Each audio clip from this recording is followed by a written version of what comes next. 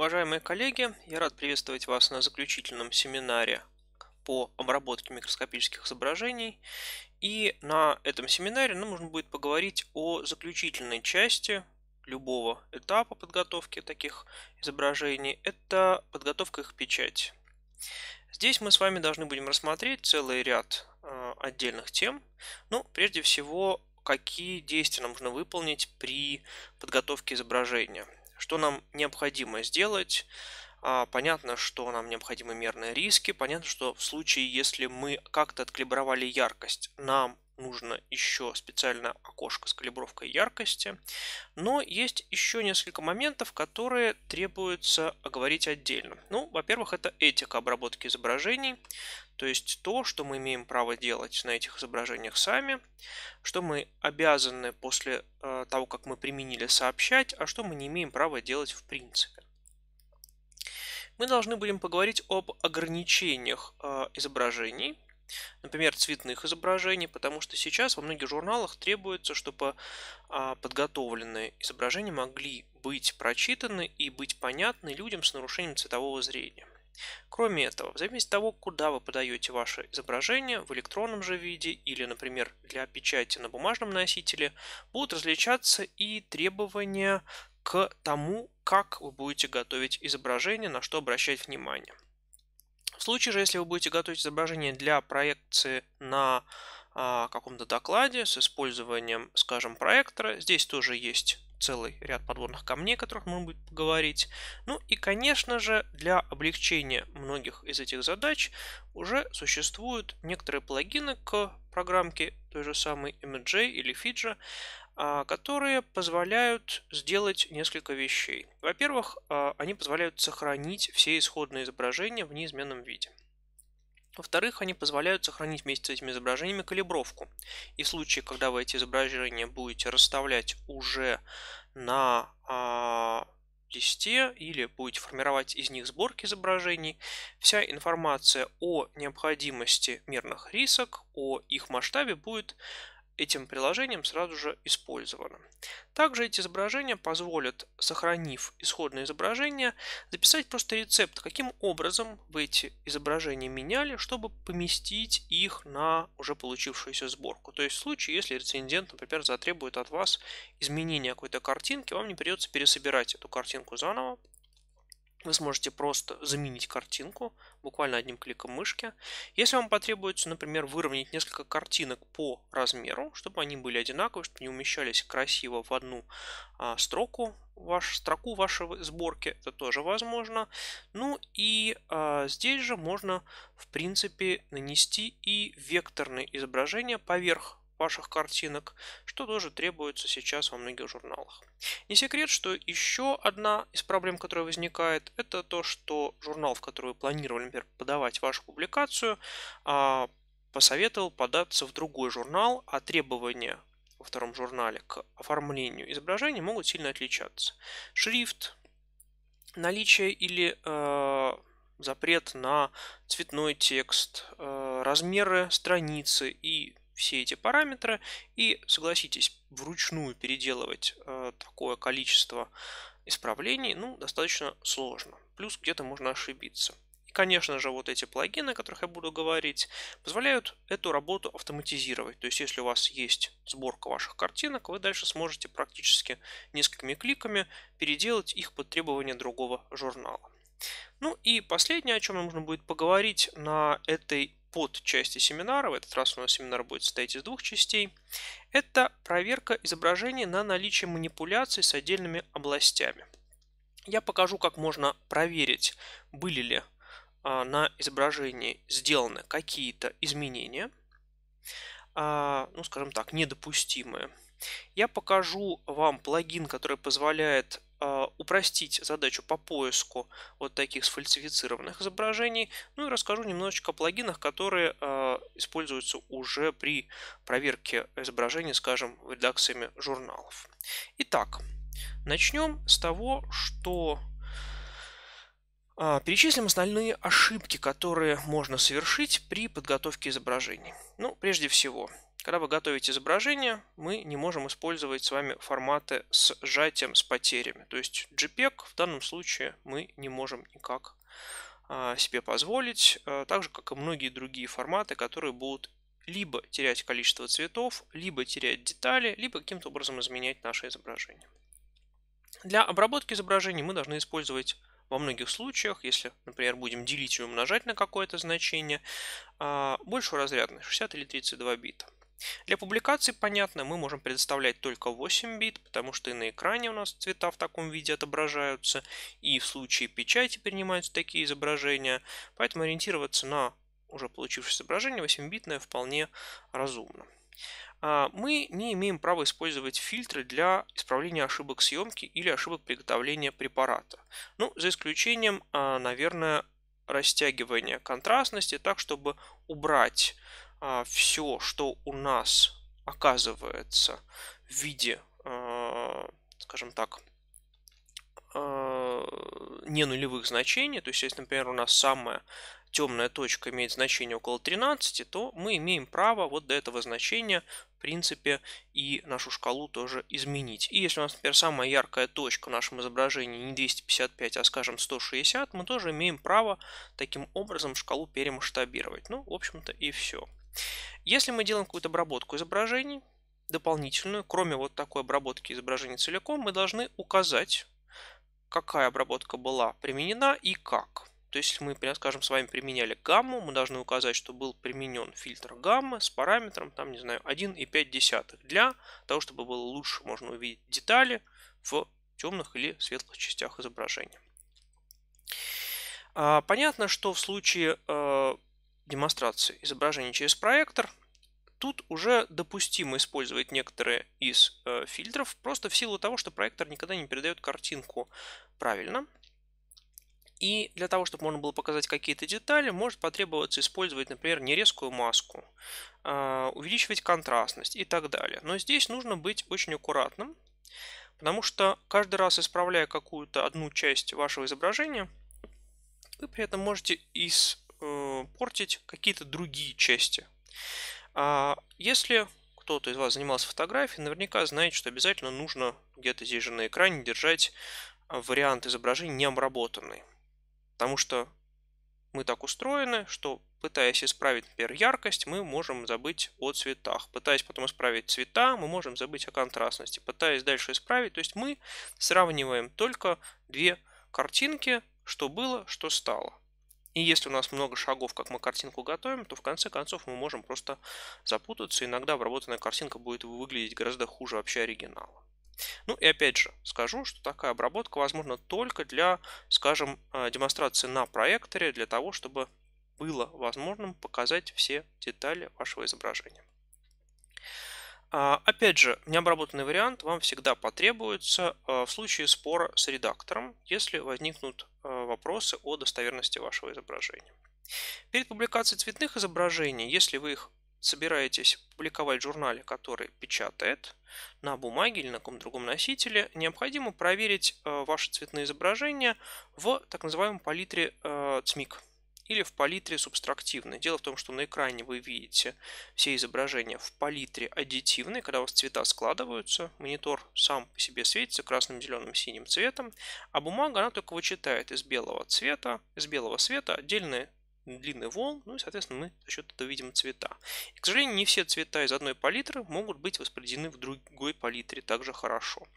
Например, тот же самый вариант красный, зеленый, синий, который прекрасно виден на экране, в случае распечатки может оказаться не столь оптимальным. И, может быть, для распечатки будет лучше использовать в случае флуоресцентного изображения псевдоцвета, например, маджента, э, циан и желтый.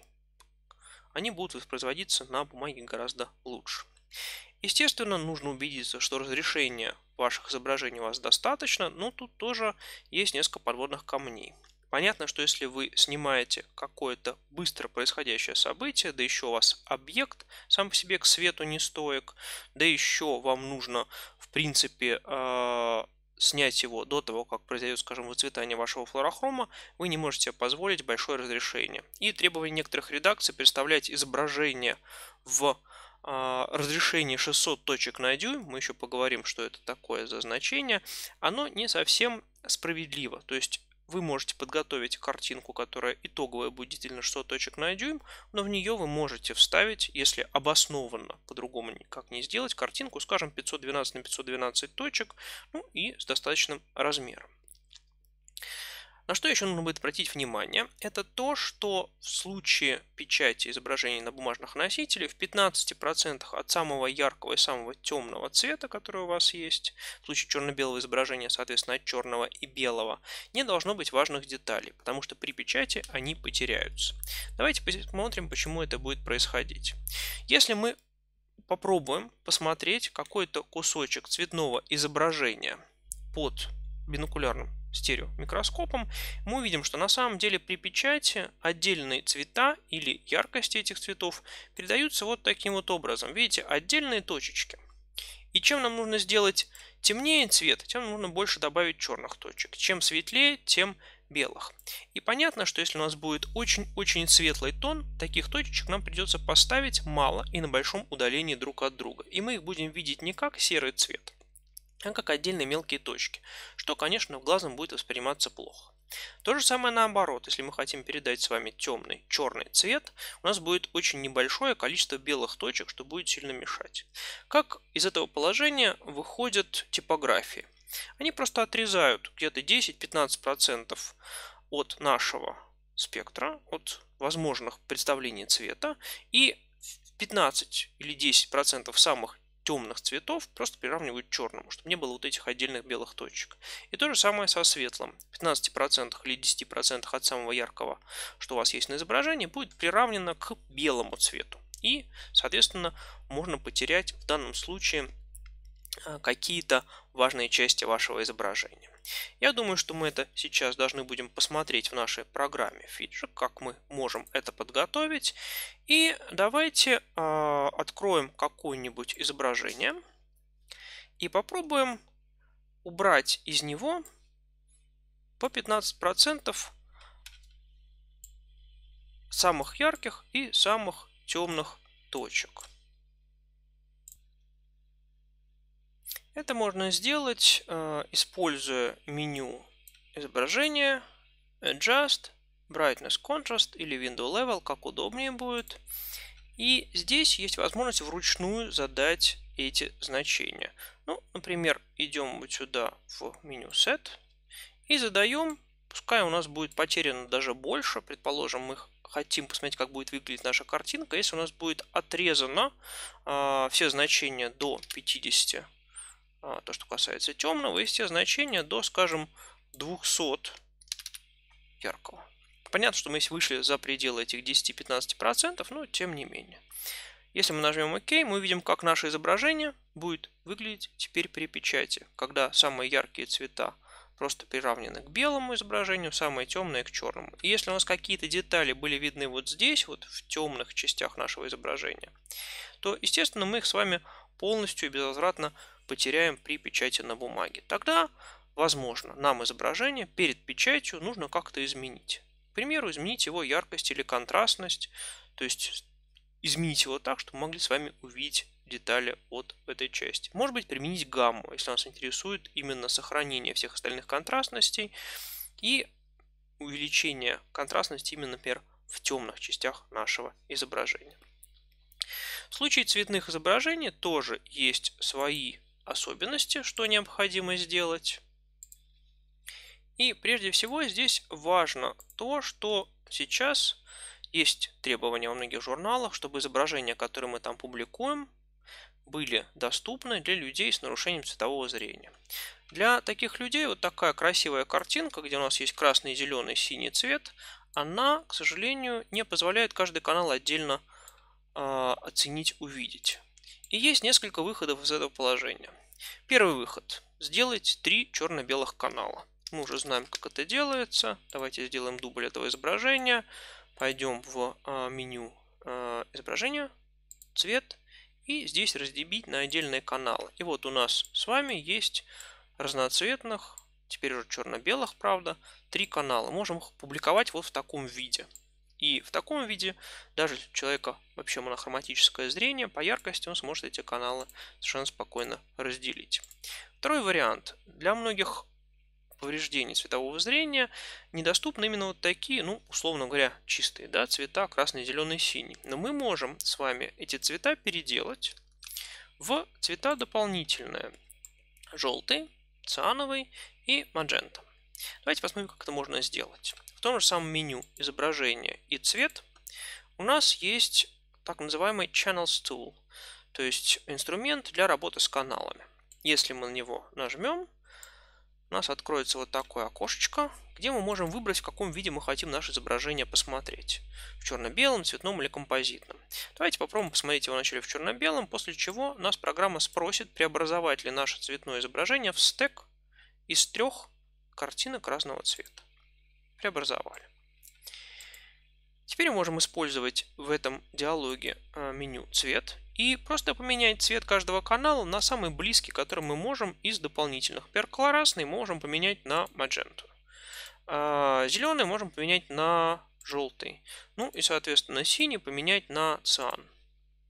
И теперь, если мы их все сложим, опять сделаем композитное изображение, как видите, оно, конечно, выглядит по-другому, немножко э, так фантастично, но с другой стороны мы можем увидеть точно так же все структуры, и можем оценить их взаимное расположение друг относительно друга. С другой стороны, люди с нарушением цветового зрения такое изображение, скорее всего, тоже смогут увидеть лучше.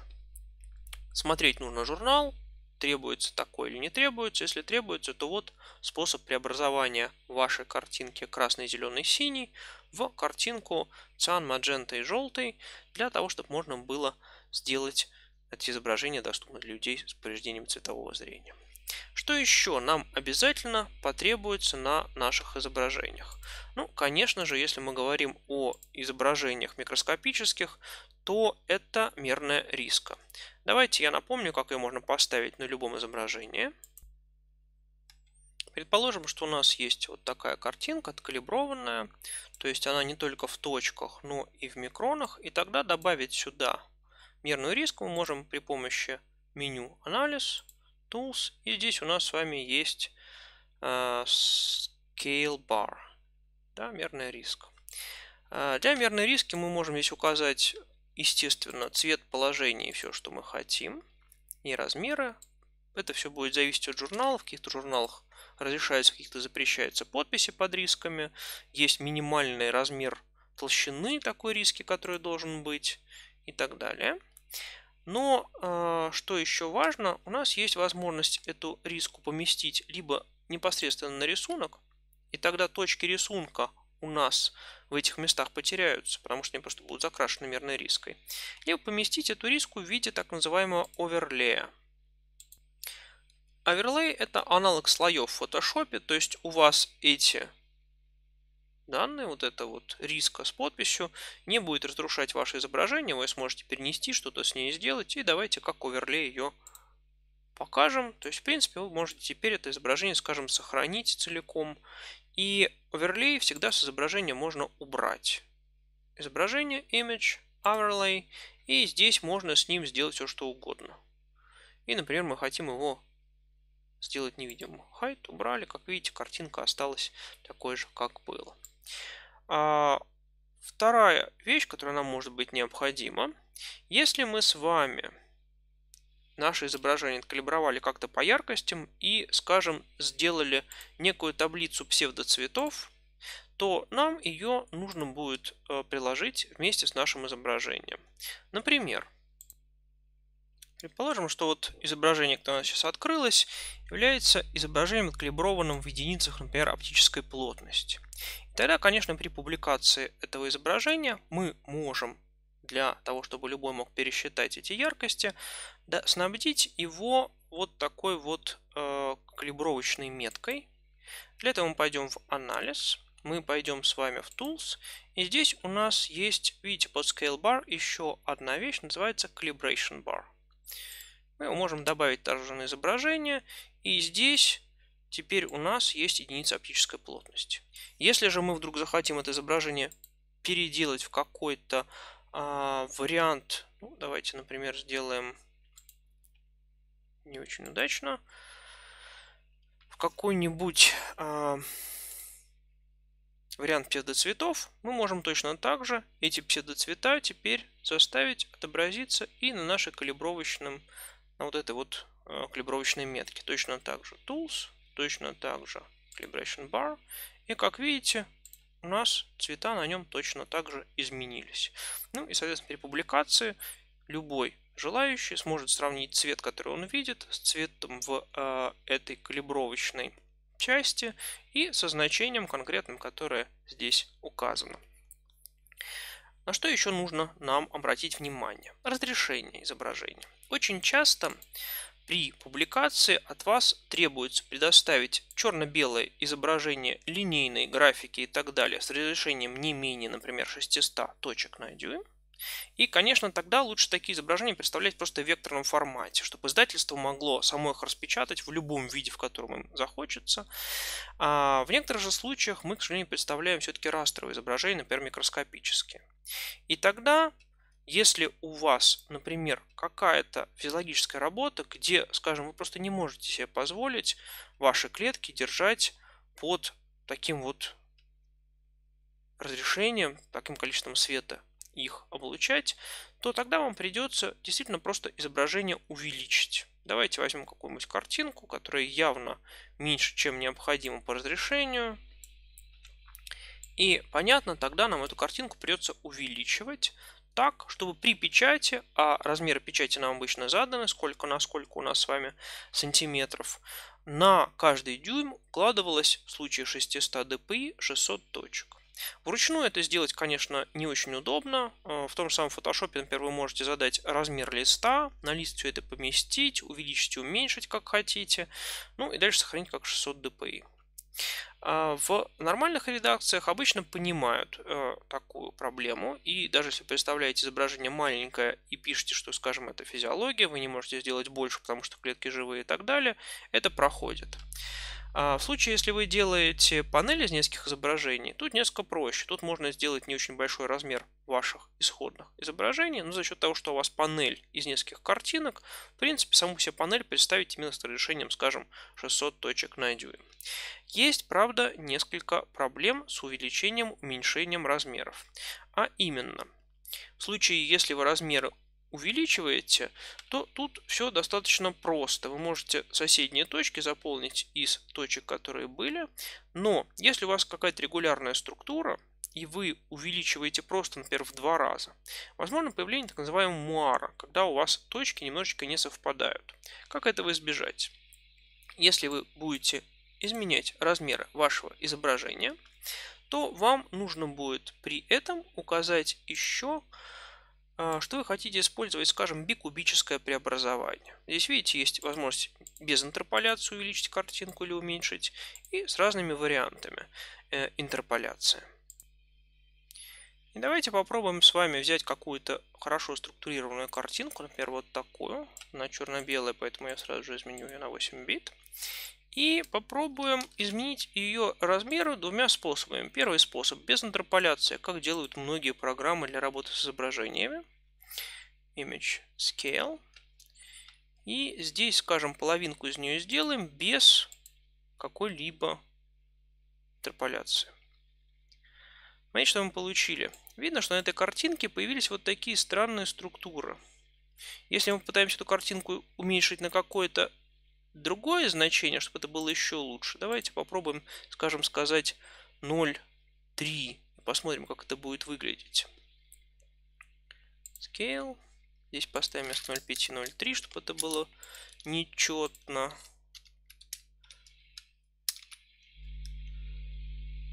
Без интерполяции. Видите, эти структуры начинают немножечко вот так сливаться, то есть они уже становятся не похожи на настоящую структуру. Давайте с другой стороны эту же картинку теперь обработаем, используя интерполяцию. Тоже scale, пускай будет даже те же самые 0,3, но мы здесь поставим бикубическую интерполяцию. Видите, картинка немножечко размылась, но стала более похожа на правду. То есть, в принципе, если вы картинку будете уменьшать, можно избежать вот этого муара тем, что вы картинку, которую будете уменьшать, на такое же количество точек размоете. Давайте мы вот эту картинку сейчас уменьшим просто уменьшением, скажем, пускай будет на 0,2 даже, в 5 раз мы ее уменьшим, без какого-либо преобразования. Я ее теперь сделаю побольше, чтобы было видно, что у нас появились вот такие красивые, видите, артефакты в виде лесенки. И давайте мы эту картинку точно так же попытаемся сейчас уменьшить, но перед уменьшением мы с вами сделаем гауссовское размытие на те же самые 5 точек. Процесс, фильтры, гауссовское размытие. У нас там было 5 точек. Можно да, поменьше сделать, скажем, даже 3 точки. Это уже спасет нас от неприятностей. И теперь мы эту картинку также с вами уменьшим. Scale, те же самые 0.2, то же самое без интерполяции. И давайте сравним эти две картинки после того, как мы их уменьшили. Понятно, что вот эта вторая картинка, она лучше отражает исходное а, строение нашей области, чем вот эта картинка, которая кажется такой резкой, четкой, но зато имеет вот эти периодические неравномерности.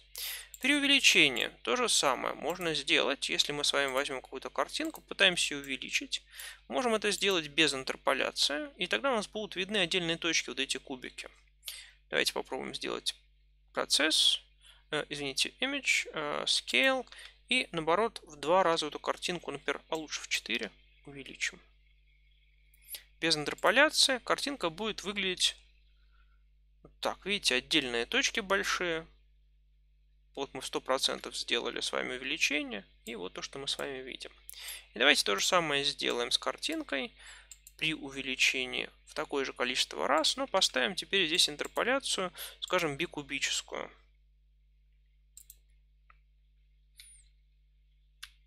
Ну и сравним эти две картинки. что у нас было без интерполяции. Как видно, здесь видны отдельные вот эти квадратики. Ну и с интерполяцией, конечно, разрешение при интерполяции у нас сохраняется, потому что мы делаем после увеличения, но картинка становится более четкой.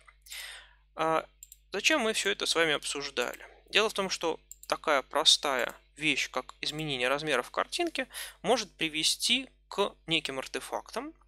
Мы с вами увидели, что если мы уменьшаем картинку и не используем размытие перед уменьшением картинки, мы с вами получаем в некоторых случаях на регулярных структурах вот такой вот муар. В случае увеличения картинки мы получаем с вами ложное представление о том, что какая-то структура, она вот такая ступеньками идет на самом деле.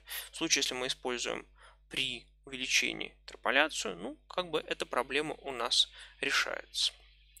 Таким образом, мы с вами обсудили, что для подготовки изображения к публикации нам нужно сделать несколько а, отдельных вещей. Нам нужно поставить калибровочную риску, калибровочную метку. Нам нужно проверить яркость, если мы собираемся публиковаться на бумаге. В случае цветного изображения, если это изображение, скажем, препарата гистологического, хорошо его перевести в палитру а, субстрактивную, посмотреть, как он выглядит. Если это изображение флуоресцентные, несколько каналов, мы можем позволить себе просто поменять все цвета с красного, зеленого, синего на какие-то другие. Во-первых, они будут лучше для людей с нарушением цветового зрения, во-вторых, а, они будут лучше видны на печати. Мы с вами поговорили о том, что разрешение, вот эти некие точки на дюйм DPI, которые просит наша редакция, это не совсем то же самое, что разрешение наших изображений. Это разрешение получившейся картинки. Если мы с картинка, скажем, 256 на 256 точек по каким-то обоснованным критериям, например, не можем больше получить с нашего микроскопа или еще что-то, то мы можем, в принципе, эту картинку просто увеличить до требуемых размеров с сохранением того разрешения, которое у нас есть. И мы с вами увидели, что увеличение и уменьшение размеров, к сожалению, может также влиять на данные нашего изображения. Плюс мы с вами поговорили о том, что мы можем на нашем изображении использовать overlay, то есть, например, стрелочки, текст, какие-то графики накладывать прямо поверх изображения в отдельном слое, не приводя к а, тому, чтобы как бы мы могли портить наше изображение. Этика обработки изображений, а, на самом деле правила это появились сравнительно недавно. Где-то в 2008 году, наверное, первые такие правила начали появляться. Я оставлю под этим видео несколько ссылок на статьи, которые, мне кажутся, в данном случае очень полезные. И кратко просуммировав э, положение этих статей, можно сказать, что они сводятся к ну, таким 12, как в этой статье было сказано, заповедям. А первое, нам нужно рассматривать изображение, которое мы получаем, как данные. Не как картинка красивая, которая позволяет нам увидеть какую-то структуру, а как некие количественные данные, которые неправильной обработкой могут быть испорчены. А, понятно, что все действия с изображением мы имеем право проводить только на копии. Как вы помните, первая часть любого нашего протокола обработки изображений начиналась с того, что мы делали его дубль. А, желательно сохранять именно исходное изображение, которое получили с микроскопа, чтобы в случае возникновения каких-то вопросов вы могли его предоставить. Простые линейные действия, когда вы меняете просто яркость, контрастность для всего изображения целиком, они в целом применимы.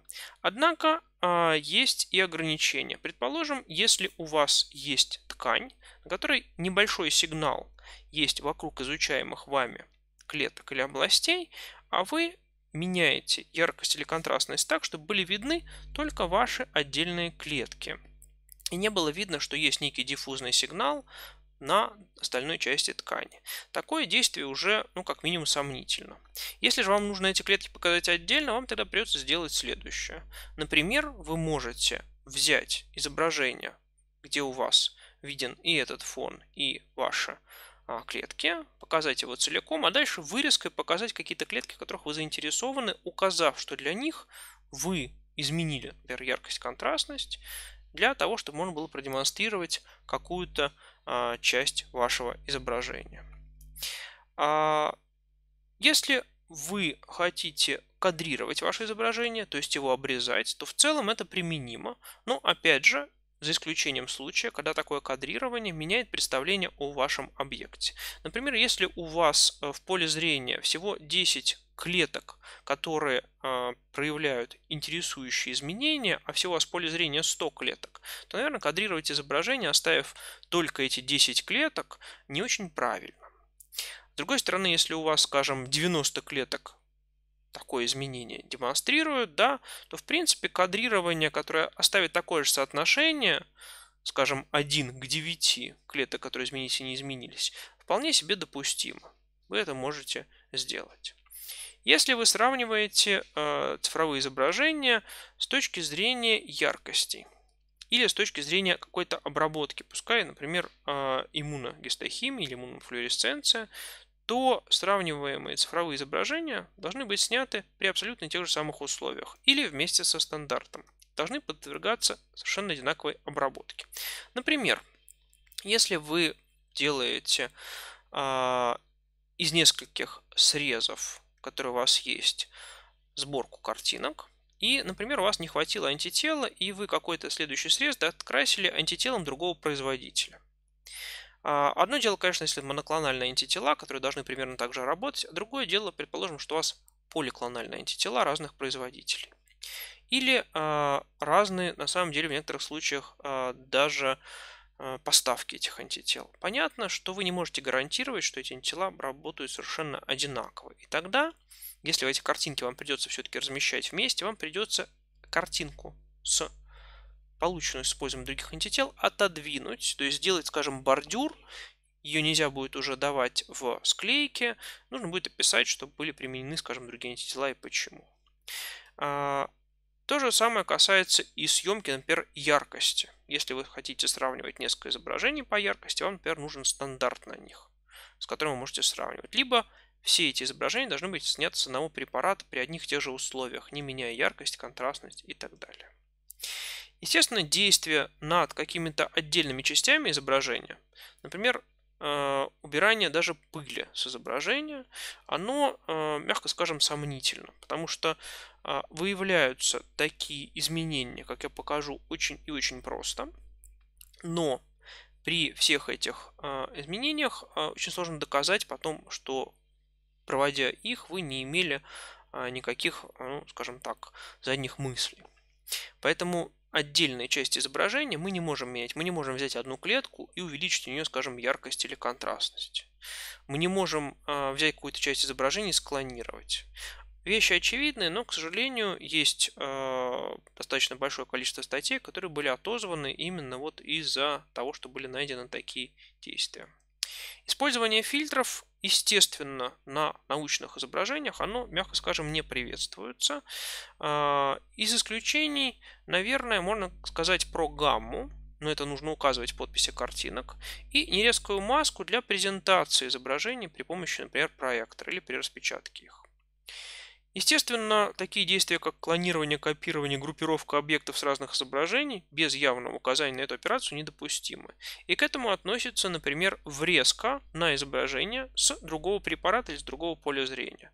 То есть, если вы на вашем изображении будете делать врезку, в нее обязательно помещать а, клетку с того же самого препарата, который у вас на этом основном изображении показан. Изменения яркостей должны производиться у вас на всех изображениях, которые вы показываете, соотнесены с определенным стандартом. То есть, если, например, вы говорите, что, скажем, количество эпитопа, которое вы исследуете, возрастает после какого-то воздействия там в несколько раз, яркость меняется, то вам тогда придется эти препараты, два, скажем, норма или контроль и тот, при котором у вас изменения произведены, помещать на одно стекло, обрабатывать при одинаковых совершенно условиях, сравнивать, и тогда вы можете сравнить каждый из ваших случаев с вашим контролем. Очень удобно в этом отношении применять технику микромассива тканей, когда вы прямо, например, на парафиновый блок можете добавить а, несколько отдельных кусочков при помощи биопсийной иголки, блоков других, которые вы знаете, которые вы можете использовать в виде контроля. Например, очень удобно, когда у вас есть кусок ткани и дополнительно с левой или правой стороны у вас 4 или 5 отдельных вот таких точек микромассива ткани добавлено. Давайте я покажу, что я имею в виду.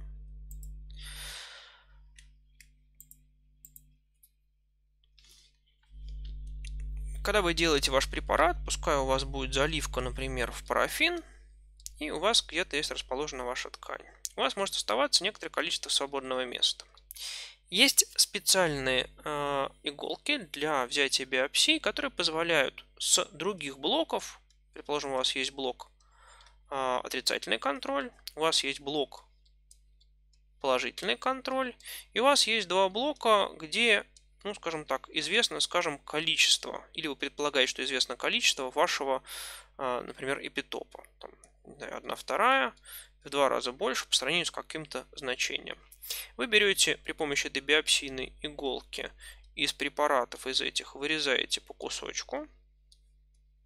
Предположим, этих препаратах здесь как раз располагается какая-то ткань, которая вас интересует. И добавляете их, точно так же удалив парафин в начале такой иголкой, прямо сюда же на блок. Таким образом, на срезе, который у вас получается на стекле, вы имеете э, срез вашей ткани, и вы имеете рядом 4 отдельных участка, где у вас есть отрицательный контроль, вы можете проверить, как ваши антитела работают, положительный, и некие контроли по, скажем так, яркости. Например, норма и воздействие, которые вы уже показали, что они действительно есть одна вторая от яркости и две от яркости. И вы можете теперь яркость вот эту сравнивать с яркостью вот этих препаратов. Почему? Толщина среза у вас будет одинаковая для всего этого препарата. Обрабатывали вы его с одинаковым количеством антител, одинаковое время инкубировали. Ну, то есть все параметры, которые вы могли учесть, вы здесь учли. Естественно, десятое положение использования сжатия с потерей данных недопустимо. Ну и еще один момент, почему-то у меня оказался 12 на самом деле 11 это то, что изменение размеров изображения в точках, как мы уже говорили, нужно производить с осторожностью. При уменьшении мы можем получить вот такой муар, при увеличении мы можем э, тоже сделать а, представление о нашем объекте немножечко неправильно. Итак, понятно, что задача эти сложная. И чтобы все это решить, особенно с увеличением и уменьшением, с тем, чтобы расставить картинки как нужно, нам удобно было бы иметь специальную программку.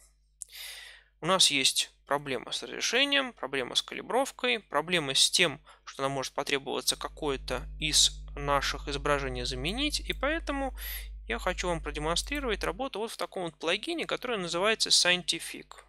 Ссылка на него представлена выше. А, и сейчас, несколько лет назад, появился еще один плагин, называется EZFig, EasyFig, если его правильно называть, а, который имеет немножечко другой интерфейс, он поновее, он имеет некоторые дополнительные возможности, но а, я, наверное, все-таки покажу вот этот классический вариант этого плагина. Как его запускать и как с ним работать? Давайте откроем нашу программку Fiji. И в ней, в плагинах, э, мы увидим вот такой плагин, который называется Scientific. Давайте мы его запустим. А после запуска мы увидим вот примерно такое окошко. У меня есть, правда, уже открыто изображение для демонстрации, где у нас есть исходное изображение, которое мы добавили, где у нас есть панели нашего изображения, мы можем добавить сюда несколько панелей отдельных, и есть сборка из панелей.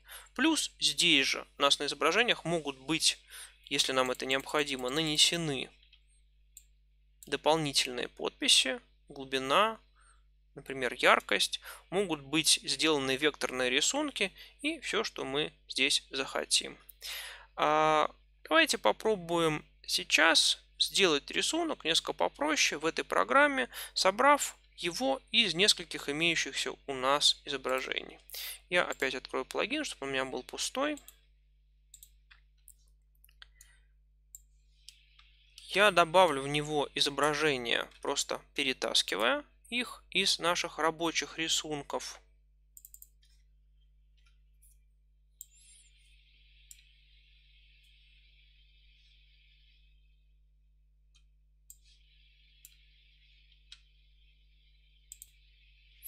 И после такого перетаскивания у меня теперь отдельные картинки, исходные представлены вот здесь. На самом деле я могу сюда же добавить и картинку, которая у меня просто открыта была в э, этой программе. То есть, если у меня, например, в Fiji открыто какое-то изображение, я могу просто нажать здесь на кнопочку «Импорт», и оно тоже окажется в этом плагине у меня открыто. Чем удобен этот плагин в первую очередь, что все эти изображения в исходном виде хранятся в неком внутреннем архиве. Дальше мы можем выбрать, какие изображения мы хотим разместить на одной панели. Например, нас интересуют вот эти два изображения, или даже давайте три, которые мы хотим разместить в одном ряду. Мы их выделяем, говорим добавить их здесь в панель. Программа нас спрашивает, как мы их хотим разместить. Например, мы хотим сделать один ряд и три рисунка. И вот она у нас их таким образом разместила. Например, под этим рисунком мы хотим разместить одну большую картинку. Точно так же добавляем одну, одну. И вот у нас есть панелька номер один, панелька номер два. И мы теперь можем эти панели вместе объединив перенести уже в получившийся рисунок. Получившийся рисунок у нас тогда будет выглядеть вот так. У нас будет одна большая картинка, скажем, гистологическая и несколько картинок вот таких. Здесь прямо на этом изображении можно работать с нашими картинками. Предположим, нас не интересует нижняя часть вот этого изображения. Мы можем прямо здесь его уменьшить, отрезать. Видите, я меняю здесь размеры, и у меня эта картинка вот просто снизу как раз как бы отрезается. То же самое, например, хочу сверху убрать лишнее. При этом сама по себе картинка исходная у меня не меняется. Это просто пишется рецепт, как ее обработать, чтобы получить вот такие вот значения. Предположим, вот эту картинку мне хочется сделать более симметрично, я хочу обрезать ее справа и слева. Я могу это сделать. И как видите, при этом остальные картинки у меня тоже выравниваются, для того, чтобы я мог их использовать. Ну, скажем, вот я сделал вот такую теперь панель из изображений. Я могу прямо на нее при необходимости добавить номера или буквы. Кнопочка Update Letters я добавляю, у меня, видите, они уже прописались А, Б, С. Ну и вот здесь D, но здесь D сейчас не видно, потому что на белого цвета. Давайте это поправим. Например, мы хотим на этом изображении поменять э, буквы. Для этого идем сюда, кликнув на изображение, в «Редактировать текст» или «Вставки». У нас откроется вот такое окошко, где мы можем выбрать, например, подпись к нашему рисунку и сделать его, эту подпись, черным цветом. Как видите, она теперь уже появилась в нашем изображении, ее теперь хорошо видно. Если мы захотим поменять эти картинки, например, местами, это тоже можно будет сделать очень легко. Можем просто их передвинуть. И как видите, они автоматически будут меняться местами 1, 2, 3. И точно так же будет меняться при необходимости, если мы нажмем «Обновить буквы» и «Буква». Теперь это картинка А, Б, С, Д. Например, нас э, редактор попросил поменять порядок картинок. И вот эту картинку просил поставить второй. Мы ее просто выделили, нажали «Перенести картинку», нажали после этого «Обновить буквы». Все, как видите, у нас теперь А, Б, С, Д, все изображения которые мы хотели поставить, поставили.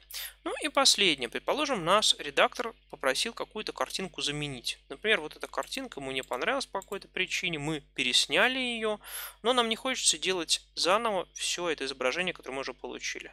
Тогда, выделив это изображение, мы можем нажать кнопочку «Заменить», «Replace» и выбрать какую-то другую картинку, которая, как видите, сразу сюда вставилась. Теперь можем ее точно так же слева-справа, например, обрезать, чтобы она теперь помещалась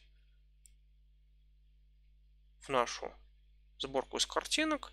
И вот получившееся у нас изображение. Что мы можем сделать еще? Например, можем подписать с вами эти изображения а, сверху и сбоку. Предположим, здесь у нас, например, несколько антител или несколько условий развития клеток. И мы можем теперь сказать, что мы хотим сверху здесь добавить какие-то пометки. Мы нажимаем на этой панельке, мы нажимаем, что мы хотим добавить с вами текст над изображениями. И, например, мы хотим добавить здесь текст над каждой картинкой. Над первой картинкой у нас будет некий текст 1 с первой по первую картинку, а вот вторая и третья картинка у нас будет некий текст 2 плюс 3. От какой картинки к какой сдается вот здесь. Начиная с первой до первой же картинки у нас будет подпись текст 1. Давайте сделаем ее черной, чтобы она была хорошо видна. И дальше мы хотим от картинки 2 до картинки 3 сделать вот такую подпись у нас будет тоже черный цвет. Как видите, над первой картинкой у нас теперь появился, появилась надпись текст 1, а над этими двумя картинками вместе текст 2 и 3. Точно так же можем добавить теперь текст, например, слева наших изображений. И, например, а, здесь у нас будет текст, что это у нас флюоресцентное, скажем, изображение – медным мы пользовались. А ниже, например, у нас будет там гемотоксильный азин, к примеру, название. Со второго по второе, скажем. Ну вот, первое сделали. И теперь здесь сделаем точно так же добавить слева. Пускай здесь будет гемотоксилин и эозин. Тоже сделаем ее черной.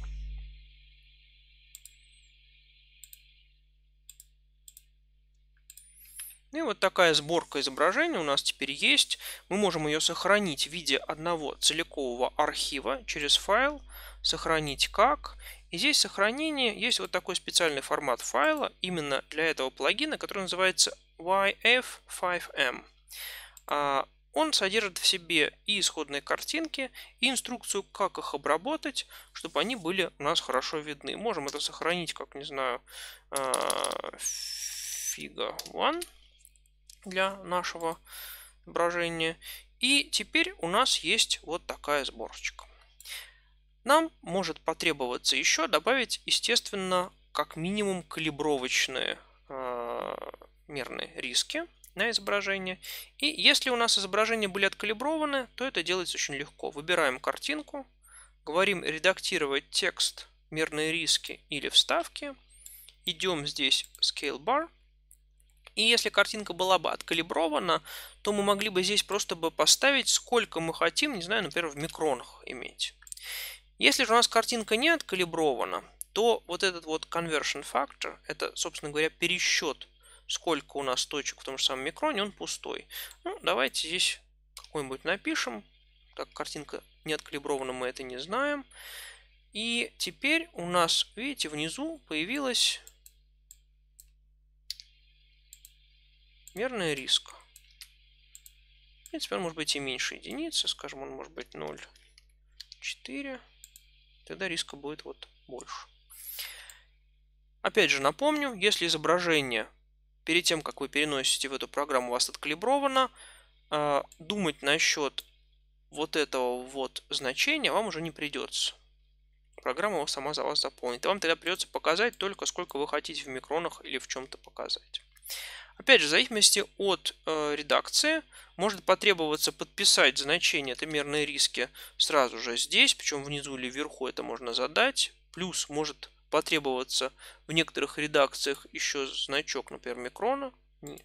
Могут сказать, что микрометр не подходит. Вот мы сделали с вами, например, первую мерную риску. Дальше можем перейти к следующей картинке. А, она может снята быть по другим увеличениям, поэтому этот conversion factor у нас может быть другой. Например, мы хотим точно так же 50 микрон, например, сделать мерную риску. Вот она появилась. Ну, как видно, она больше. Опять же, можем сделать точно так же 50 и, скажем, добавить тот же самый значок микрометров.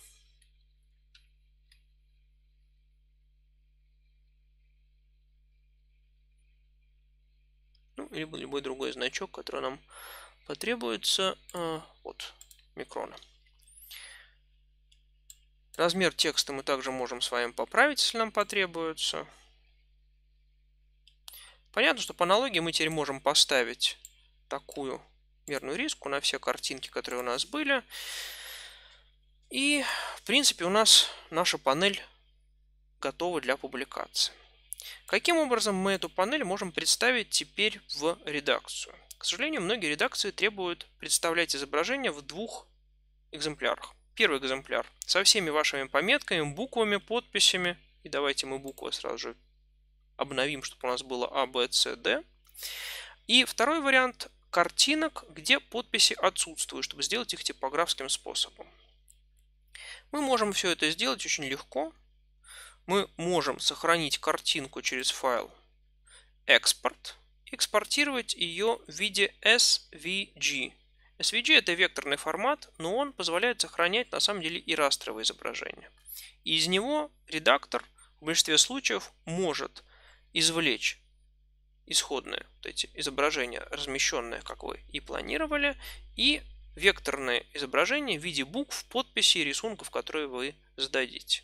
Если же в редакции требуется изображение в формате TIFF или PNG, их тоже можно здесь достаточно легко сохранить. Ну, давайте ради интереса сохраним это изображение как PNG. Программа нас предупредит, что данный формат не рекомендуется, так как э, для публикации лучше экспортировать в чем-то другом. И здесь посмотрите, что удобно сразу же появилось. Мы можем задать, какое количество точек на дюйм мы с вами хотим получить. То есть мы можем сразу же задать, что мы, например, хотим с вами 300 точек на дюйм для этого изображения. Назвать это изображение, какое-нибудь там 2 PNG, например. И программа нам его экспортирует именно в таком виде. Если мы его теперь откроем, то мы увидим, что это действительно изображение в формате PNG с прозрачностью, как мы и хотели. Вот наши этой сборочки в виде одной картинки. Предположим, нас требуют теперь убрать все вот эти векторные вещи. Мы сохраняем наше изображение, чтобы не потерять эти данные. И дальше мы можем теперь убрать отсюда вот remove. При помощи этого можем убрать с изображений все подписи, которые у нас были, можем убрать буквы, ну, в общем, все, что нужно, отсюда можно убрать. А что еще нам может быть полезно или нужно? В некоторых случаях нам нужно в изображение вставить какую-то часть под большим увеличением. Так называемая вставочка. Давайте попробуем это сделать вот на вот этой вот картинке. Возьмем какую-то одну клетку, кусочек ее и увеличиваем. Нажали на это изображение. У нас есть возможность вот эту кнопку теперь нажать, редактировать изображение, текст, скейлбар или вставочку. И мы теперь можем здесь сделать вставку в любом месте. Но вручную ее вырезать, вставлять, наверное, не очень удобно. И гораздо проще было бы прямо здесь перейти по кнопочке «Вставить регион интереса», «Стрелочки» и так далее. У нас откроется наше изображение, после чего можем выделить ту область, которую мы хотим добавить на вставку. Например, вот это вот кусочек небольшой клетки мы хотим.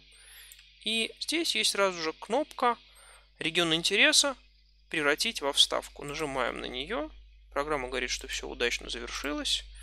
И как видите, у нас теперь есть вот такая вставочка, причем со своей же э, калибровочной линией. Давайте попробуем эту вставочку отнести в другой угол изображения. Выделили, нажали редактировать. И э, теперь говорим, что вставка у нас будет внизу. Она у нас была здесь наверху, нам мешала. Здесь внизу. И мы, например, хотим ее увеличить очень сильно, сделать ее, скажем, там на практически четверть нашего изображения. В чем плюс такого подхода? Нам не нужно сразу же рисовать, откуда мы взяли вот эту вставочку. Видите, она обведена желтым. К ней уже сдублирована мерная риска. Мы можем изменить ее размер, но она, в принципе, эти 50 микрон уже сдублировала на изображение. Ну, и если мы теперь что-то будем менять, у нас также изменится все остальное. В этом же диалоге можно сделать еще много чего удобного и интересного. Мы можем добавить прямо на изображение какие-то стрелочки. Можем добавить какой-то текст.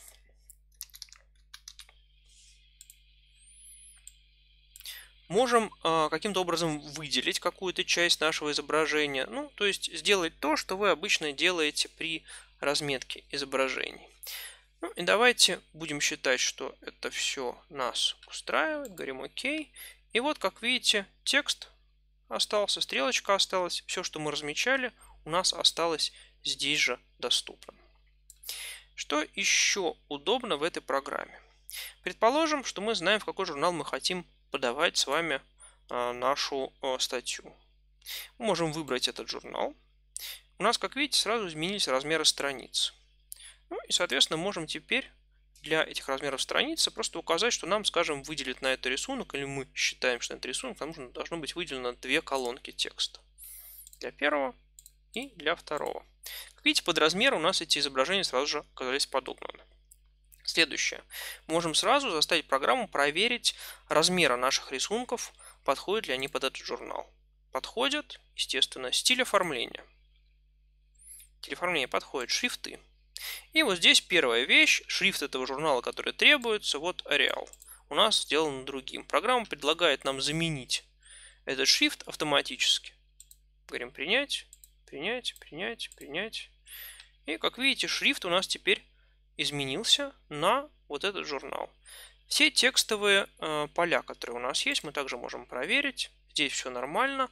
Line Arts – это ширина линий, которые мы используем в виде векторных объектов поверх нашего рисунка. Нормально. Графиков у нас нет, поэтому здесь никаких проблем тоже не будет. И вот мы с вами сделали изображение по стилю этого журнала. Предположим, в этом журнале отказали, и мы пошли в какой-то другой журнал. Как видите, размер страницы этого журнала другой. И можем точно так же сказать, что, скажем, мы теперь хотим подогнать под этот журнал эту картинку. Мы хотим точно так же проверить размер, шрифты. Видите, в этом журнале шрифт другой. И буквы, заметьте, маленькие. И можем тоже сказать, что мы хотим принять все это автоматически. Ну, как видите, у нас изображение переоформилось под стандарты, например, уже этого журнала. Ну и, соответственно, можем это сохранить.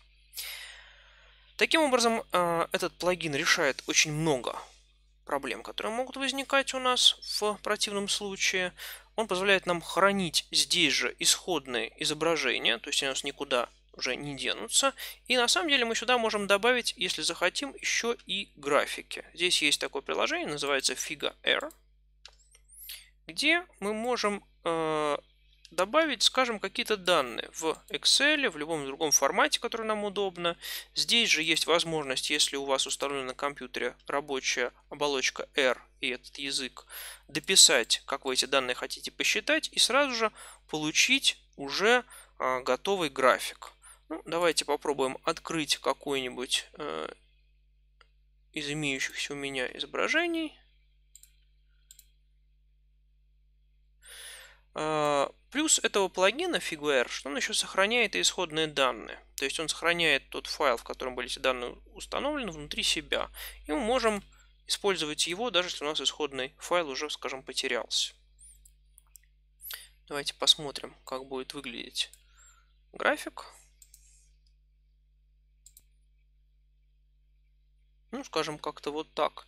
И его точно так же можно вставить при необходимости в программу, вернуть ее вот сюда, поставить, скажем, этот график под всеми остальными картинками. Например, сохранить этот график как или экспортировать как какой-нибудь там SVG или еще что-нибудь, либо его на самом деле можно вот этот фигу R целиком прямо бросить на, э, после того, как мы его, конечно, сохранили, э, бросить вот сюда, вот в наши картинки. Ну и давайте попробуем это с вами сделать.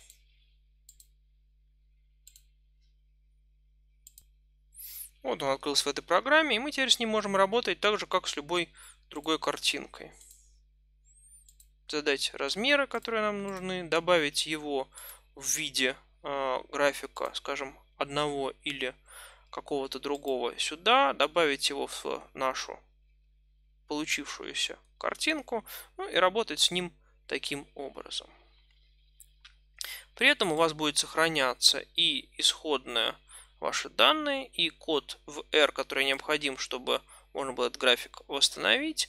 Ну и, соответственно, ваша собранная картинка. Естественно, как я уже говорил, что есть обновленная версия этого плагина. Называется она уже не Scientific, а, fig, а и ZFig.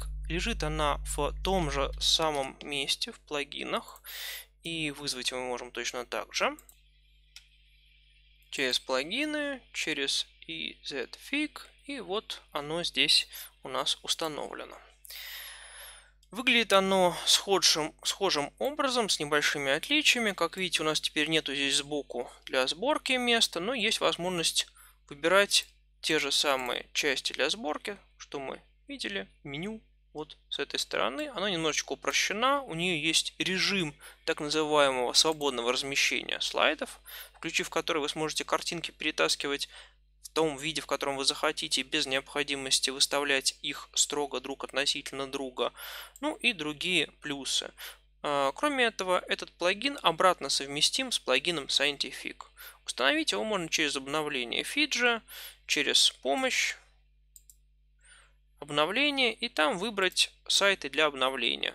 Сайт для обновления так и будет называться EZFig. Что нам удалось с вами сейчас э, сделать и о чем поговорить? Мы с вами увидели работу плагина, который используется для оформления изображений для печати. Я очень много о нем подробно не рассказывал. Например, там есть возможность э, разбиения цветного изображения на отдельные каналы. Там есть возможность тоже также замена цветов, создание стереоизображения. Ну, в общем, много дополнительных возможностей, которые можно будет прочесть на официальном сайте. Тем не менее, основные действия, необходимые для подготовки изображения в этом плагине, я вам рассказал. Вы знаете, как добавить туда ваше исходное изображение – причем желательно, чтобы они уже были точно откалиброваны, чтобы вам не приходилось искать вот это вот значение а, пересчета единиц. Вы знаете, как вы можете собрать картинки в строке вашего изображения. Вы знаете, как эти строки можно подписать. Вы знаете, как поставить буквы и перенумеровать. Вы знаете, как передвинуть изображение. Вы знаете, как заменить одно изображение другим. Вы знаете теперь, как изменить размеры изображения. А, при этом у вас исходное изображение никоим образом не портится. И вы знаете, как его сохранить в разные форматы в соответствии с требованием издательства. Например, те же самые 300 точек на дюйм. Плюс вы знаете, как теперь можно быстро переделать ваше изображение в требуемый издательством формат. А, более подробно про этот плагин можно еще посмотреть, как можно настраивать для разных журналов так называемые установки. Более того, есть сайт, где эти установки есть для очень-очень большого количества журналов, то есть вам вручную даже не придется указывать шрифты, э, график и все, что нужно для того, чтобы ваша картинка в журнал была принята сразу. То есть, в принципе, это можно сделать либо вручную через меню, либо просто загрузить. И нам осталась еще одна небольшая тема, которую я обычно э, делал отдельной лекции, но так как последний семинар у нас оказывается очень коротеньким, я его добавлю сюда. Нам нужно будет очень поверхностно поговорить о такой вещи, как лабораторные информационные системы для групповой работы с изображениями. Нам нужно будет поговорить немножечко о специальном программном обеспечении, которое позволяет управлять микроскопом, съемкой микроскопа э, нашим препаратом. Нам нужно будет поговорить о э, программном обеспечении системы для так называемой массовой морфометрии, или вот новомодное слово целомика есть. Ну и я должен буду сказать как минимум про одну альтернативу программному обеспечению, которую мы используем, которая э, достаточно удобна в плане визуализации всех процессов. Ну и начнем мы с вами с лабораторной информационной системы, которая называется Амера. А состоит она из двух частей. Это сервер, на котором действительно лежат все изображения, и клиент, который вы ставите на свой компьютер. На самом деле клиентом может быть и обычный браузер, а, Chrome тот же самый, Firefox. В нем можно точно так же работать с изображениями, но это не очень быстро. И есть вот такая программка, а, написанная на Java, которая работает с этим сервером сильно быстрее. Какие плюсы? Все изображения, с которыми вы работаете, вы можете хранить централизованно. Вы можете их определенным образом сортировать при необходимости. И более того, вы можете делать, открывать доступ для этих изображений, которые могут быть так сортированы, а, другим пользователям. То есть вы храните под каждый эксперимент весь набор изображений, которые у вас были, централизованно. Вы можете им присвоить а, значение меток, тегов так называемых. То есть, например, все картинки, снятые с DAPI, определенной области коры и так далее. Вы можете сюда же положить дополнительные файлы, например, протокол, как вы обрабатывали эти изображения. А, вы можете их как-то отклассифицировать. И а, для каждого пользователя вы можете использовать свой набор яркости, контрастности и так далее. Предположим, вы работаете с изображением совместно с кем-то, и первым человека интересует больше ядра с DAPI, ну и какая-то метка ядерная.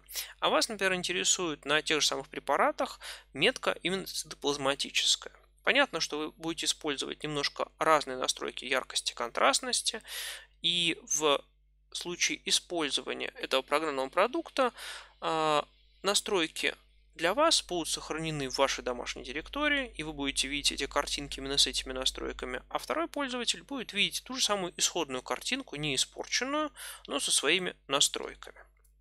К примеру, вот вы взяли такое изображение, вы его открыли, и у вас появилась возможность для каждого канала, видите, указать значение максимальной минимальной яркости. И после этого эти значения вот так вот сохраняются. То есть исходная картинка никоим образом не испорчена, а ваши значения сохранены в вашей домашней папочке. Если здесь будет еще один пользователь, и если он разрешит использование своих настроек, здесь появится еще один слайд, еще с чьими-то настройками, еще с чьими-то настройками. Плюс здесь же можно при необходимости изменить общую яркость изображения, показать, как вы будете передавать яркости линейно или какой-то другой функции, использовать гамму. Можно включать, отключать отдельные каналы. Если у вас изображение конфокальное, можно ходить по плоскости X, Y, Z. Можно делать максимальную проекцию, причем с нескольких э, срезов, а не со всего, например, куска. Ну и, на мой взгляд, еще громадным плюсом именно а, этой программы является возможность работать с очень большими изображениями. Ну вот, например, изображение 16, 17 тысяч точек на 31 тысячу точек, на самом деле сравнительно небольшое, а, которое открывается как вот Google Maps. У вас есть обзорное изображение, вы теперь можете при необходимости приближаться все ближе-ближе, вплоть до максимального разрешения, которое у вас было использовано для того, чтобы снять этот препарат.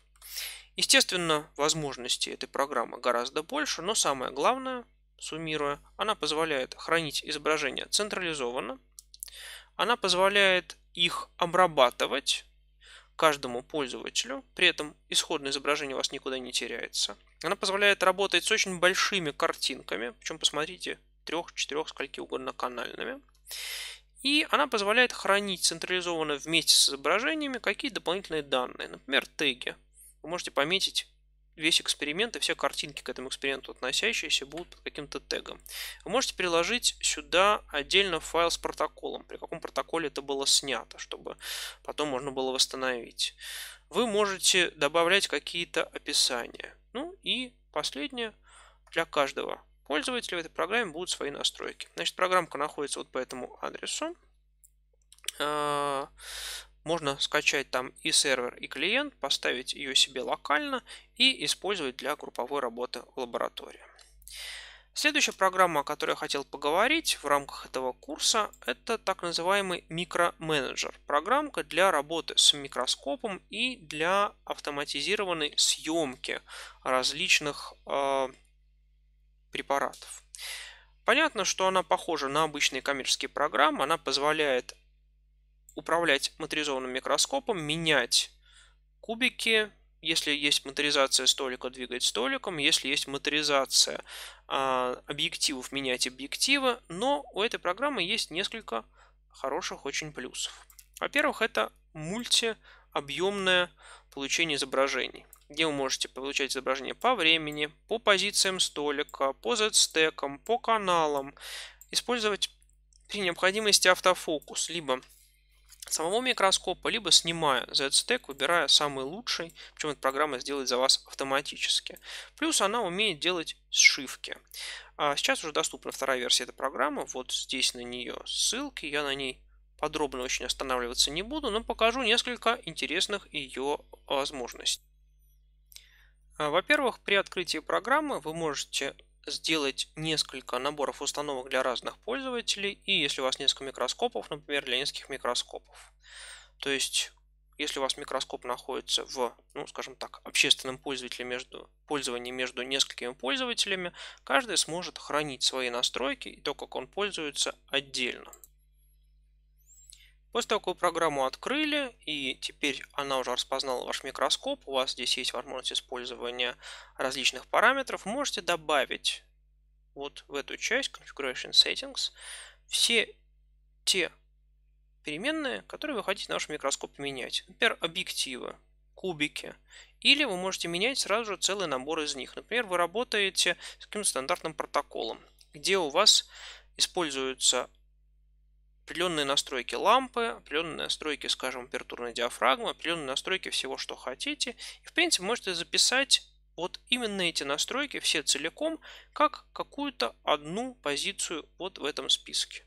И вам не нужно будет настраивать много-много-много отдельных частей вашего микроскопа. Достаточно будет просто здесь выбрать настройку для работы с каким-то методом. А вторая важная часть этой программы. А, она позволяет автоматически делать вычитание фона. Причем как для изображений светлопольных, это то, что мы с вами делали, чтобы у нас был с вами ровный фон, чтобы мы могли дальше делать сегментацию, так и для изображений флуоресцентных. При этом для флуоресцентных изображений фон можно получить несколькими способами. Ну, первый способ можно купить специальные а, слайды флуоресцирующие, их отснять. Второй способ, который мне больше нравится, просто под покровное стекло капнуть раствор какого-нибудь флуоресцентного красителя, например, того же самого R6G или флуоресцина или хины, и отснять вот такое стекло в более-менее сфокусированном состоянии, так же, как вы снимали бы пустое поле для обычного микроскопа. И вот, используя такое поле для коррекции яркости, вы можете получать, опять же, изображения, которые будут достаточно хорошо выровнены для першивок или для подсчета яркостей а, на вашем изображении. Причем эти изменения, то есть получение таких изображений, вычитание из них фона, может происходить в автоматическом режиме. Вы один раз установили эти параметры, и дальше программа сама будет выбирать, в зависимости от того, какие вы объективы использовали, либо какие кубики, в каком э, варианте это все после съемки обрабатывать.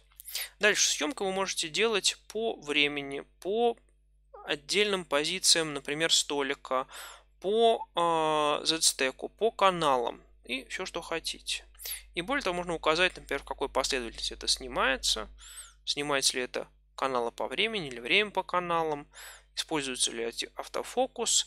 И кроме этого, очень удобным является то, что график, который вы получаете, гистограмма яркостей, она на самом деле получается в реальном масштабе времени. Вы снимаете, вы видите сразу же, если у вас пересвечены и недосвеченные точки на изображении.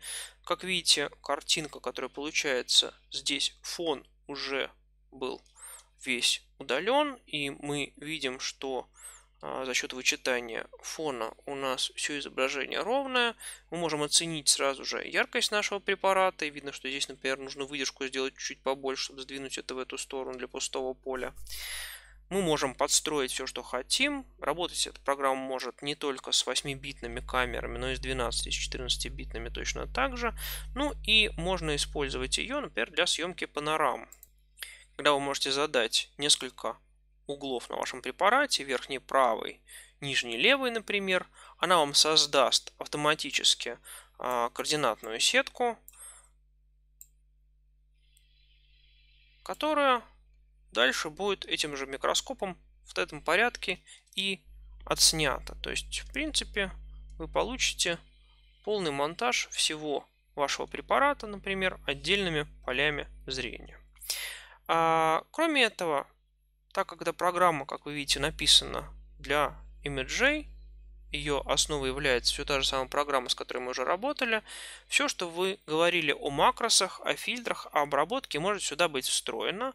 Плюс э, при помощи этого скриптового языка можно управлять теперь своим микроскопом. Например, вы можете отснять какое-то изображение при малом увеличении, как-то его обработать, найти какие-то точки, которые вас интересуют. Если у вас микроскоп полностью моторизован, переключить на объектив с большим увеличением и по координатам, передвинув столик, снять какие-то части с, скажем, большим увеличением, если они вас интересуют.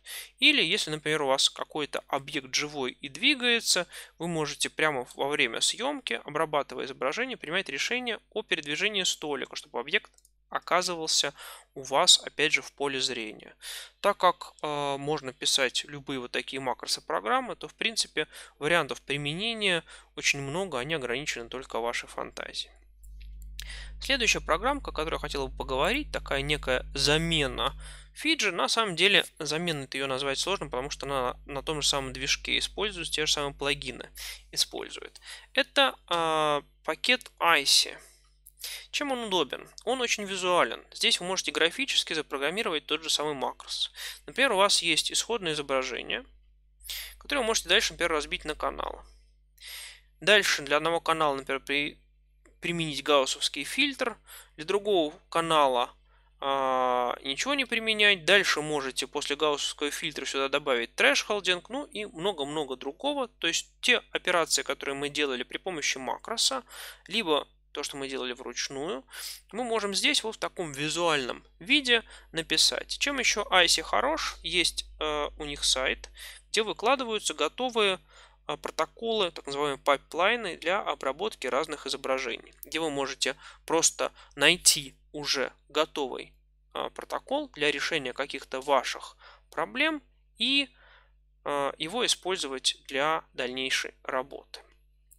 Я, конечно, не могу еще не остановиться на специальном комплексе программ, который называется Cell Profiler. Вот он здесь указан.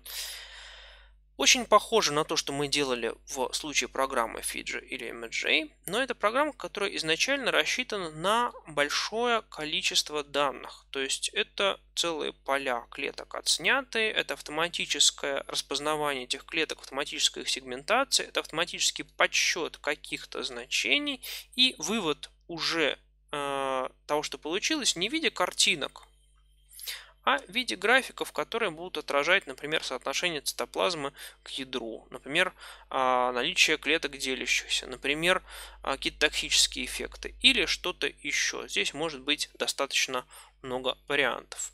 Программа не столь гибкая, как Fiji. Конечно, в Fiji очень многое можно сделать руками. Здесь вы прописываете протокол, как обрабатываете вот этот пайплайн, и программа его просто повторяет для каждого снятого изображения для каждой клетки.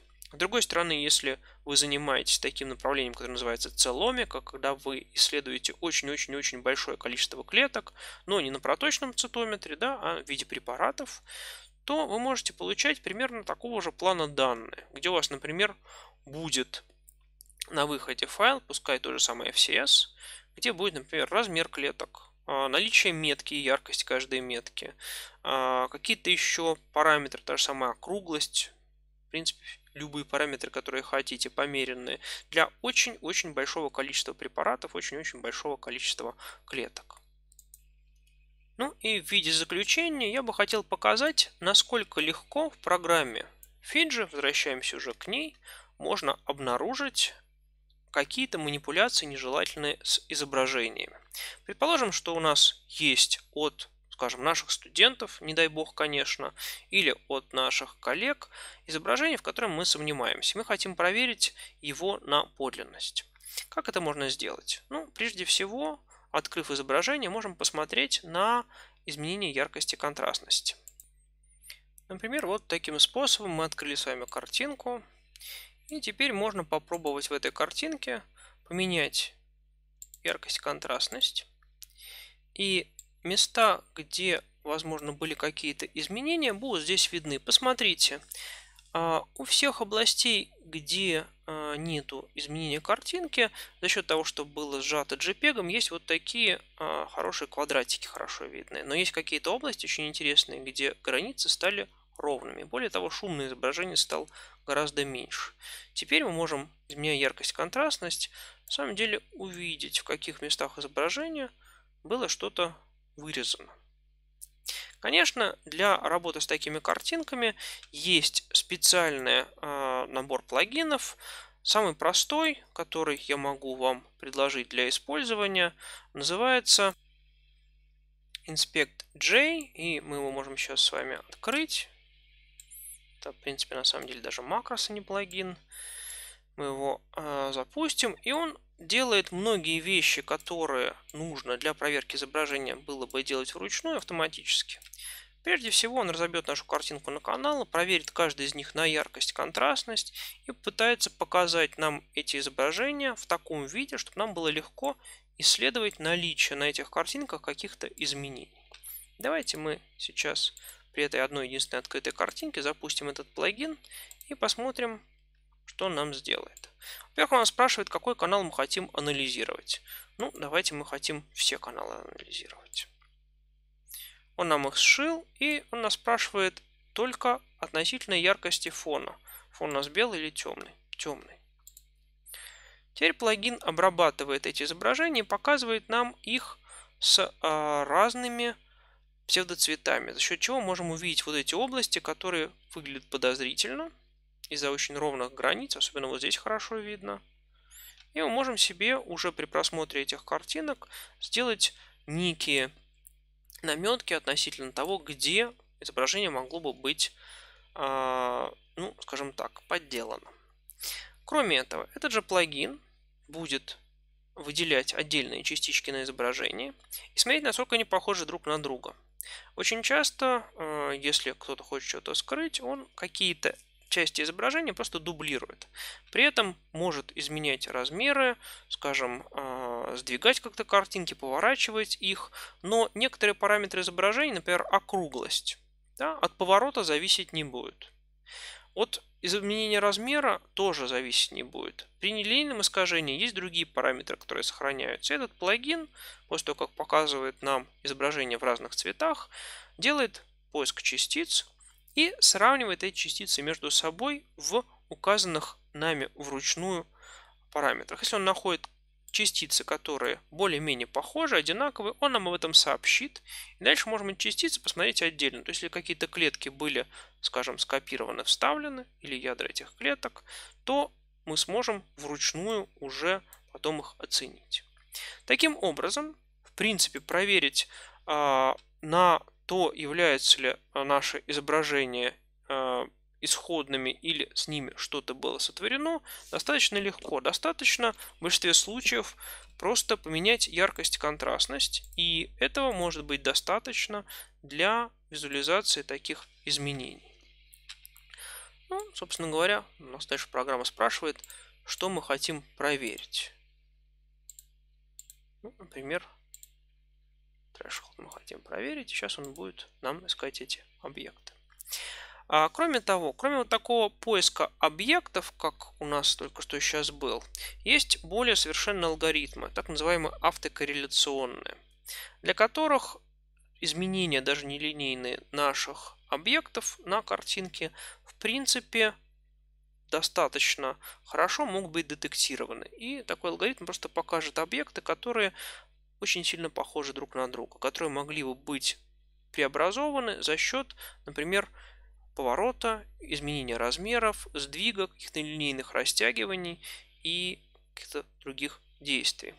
Ну и э, последнее, что здесь тоже можно сказать, дело в том, что на любом изображении, если оно правильно снято, всегда присутствует определенный шум. Этот шум имеет определенную статистику, и если мы с вами добавили что-то из соседнего изображения, снятого при других условиях, статистика шума будет различаться. Есть программы, которые смотрят не на объекты, а на места между объектами и ищет, где отличается шум. Если вы, скажем, даже в, в контексте одной картинки перенесли что-то из этой части картинки сюда, шум будет немножечко отличаться. И если какие-то параметры шума будут ли, меняться здесь линейно от этого угла к этому углу. То есть, если вы теперь вырезали какой-то объект, перенесли сюда, здесь шум будет меняться более-менее линейно, а вот здесь шум будет напоминать шум, который был в этой части картинки. Поэтому, в принципе, сейчас, ну, так скажем, подделка картинок э, встречается уже нечасто. Практически все журналы проверяют изображения на наличие возможных а, ну скажем так, нестыковок. Вот один из плагинов я вам показал, который позволяет сделать анализ и по яркости, и по размерам объектов. Ну и существует много других параметров, которые можно тоже оценить для того, чтобы понять, было ли что-то совершено с изображением. В итоге мы смогли с вами посмотреть дополнительное программное обеспечение, которое позволяет решить свой ряд вопросов. К примеру, хранение изображений и возможность совместной работы. Это у нас был плагин, а, вернее не плагин, а отдельная программа, которая называется Amera. Это была проблема управления микроскопом, и мы здесь рассмотрели программу, которая называется Micro-Manager.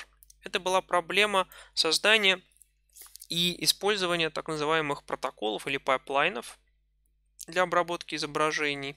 И э, это программы для так называемой целомики, когда мы хотим обрабатывать очень большие объемы данных по совершенно жестким фиксированным алгоритмам. Это был CellProfiler. Плюс мы с вами э, в виде бонуса рассмотрели то, каким образом можно проверить изображение на наличие подделок. Ну и понятно, что, э, конечно же, самим такое делать ни в коем случае нельзя, хотя потому что это очень легко может быть найдено. А, в связи с этим я хотел бы подвести итог нашего курса. Мы с вами научились работать в программе Fiji для получения информации на двумерных и трехмерных данных. Мы научились э, с вами э, калибровать изображение, мы научились с вами его сегментировать, мы научились автоматически подсчитывать частицы. И, конечно, то, что в этом курсе мне удалось рассказать, это очень небольшая часть того, что в этой программе можно сделать. Кроме того, ее можно расширять не только при помощи макросов, но и при помощи так называемых плагинов. Так как программа написана на Java, то в принципе, а, небольшие знания Java помогут вам при необходимости написать собственный плагин. Есть а, очень большое количество сайтов, где рассказывается, как это сделать. Плагины на Java могут работать достаточно быстро. И я надеюсь, что этот курс был более-менее полезен не только в плане работы именно с конкретной программой, но и в плане понимания общих закономерностей работы с изображением, а, его, скажем так, оценки, подходов к сегментации, ну и а, понимания того, где можно найти дополнительную информацию. Таким образом, наш курс завершен. Спасибо за внимание. Надеюсь, он был полезен.